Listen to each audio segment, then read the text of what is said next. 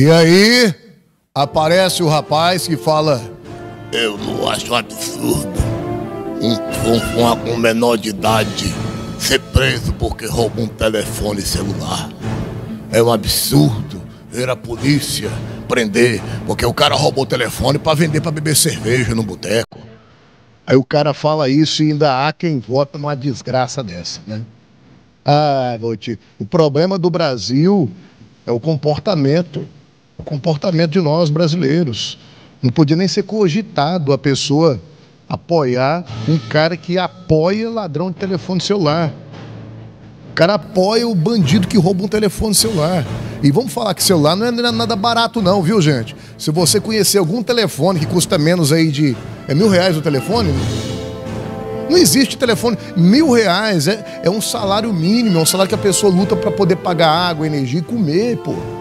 Aí o cara vem, compra um telefone com sacrifício dividido parcelado, ainda paga um juro do inferno. Aí vem uma, uma, uma, um enviado do capeta desse, rouba o telefone da pessoa, uma quadrilha especializada. Olha lá que esse povo aí pode estar tá aí querendo financiar a campanha eleitoral, né, de alguém, né, que apoia eles. Vamos lá. É isso mesmo. Eu, eu, eu vou te falar, é cada uma. Ó, eu sei que tem muita gente que é brasileira e ama o Brasil como eu. Mas vocês sabiam que no nosso país tem gente que só porque me viram com a camisa verde e amarela já devem ter ficado aborrecidos? É porque é a cor do país de vocês. Por que você não vai lá pro teu país então? Por que você não vai lá pro país onde pode roubar? Ah, lá no, no país deles, onde eles defendem, não tem nem celular para roubar. O povo não tem nem o que comer, tem que comer, come é gato de rua. O povo não tem nem o que comer, estão vindo de lá para cá para pedir dinheiro e semáforo. O país que vocês defendem, os regimes que vocês defendem, os regimes políticos, os regimes sociais que vocês defendem, a cor, do, do, do, a cor lá é diferente, né? A cozinha é diferente, né? Como diz no sertão, é uma cor encarnada, né?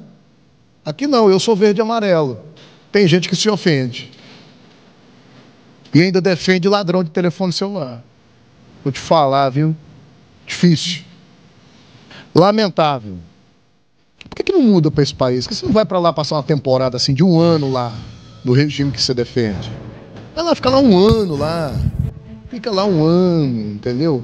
Vivendo naquele regime do país. Não entra como turista, não. Entra para trabalhar. Entra assim, ó, vim aqui porque eu, eu adoro esse país. Vai e fica lá. Um ano, tá bom? Aí depois você volta pro Brasil e fala para mim como é que foi. Duas quadrilhas suspeitas de furto de celulares em Palmas foram presas no último sábado. Os furtos teriam acontecido durante o show do cantor sertanejo Gustavo Lima, na sexta-feira. A primeira prisão aconteceu em um hotel da capital, depois de informações coletadas pela Agência Central de Inteligência. Uma equipe do Batalhão de Operações Especiais da Polícia Militar foi até o local, onde estavam cinco indivíduos, onde constataram que um sexto homem teria ido para Goiânia na madrugada de sábado. O ônibus em que ele estava foi interceptado por equipes da Polícia Rodoviária Federal e GPT de Porangatu, já em Goiás. Com o suspeito, foram encontrados 12 celulares furtados e mais de mil reais em espécie. A segunda prisão aconteceu em Guaraí, na região centro-norte do estado. A equipe de patrulha rural da Polícia Militar recebeu a informação de que um veículo com quatro ocupantes que haviam cometido furto de celulares durante o mesmo show em Palmas passavam pela região. O veículo foi abordado na BR-153, já dentro da cidade de Guaraí. Questionados, os suspeitos negaram qualquer participação no crime. No entanto, o motorista confessou que havia despachado os aparelhos em um ônibus de turismo na cidade de Miranorte, com destino a Belém do Pará. O veículo foi abordado em Colinas. A polícia encontrou uma caixa de sapatos contendo 14 aparelhos celulares, mas havia ainda a informação de que um dos aparelhos enviava a localização, porém não estava no meio dos celulares encontrados.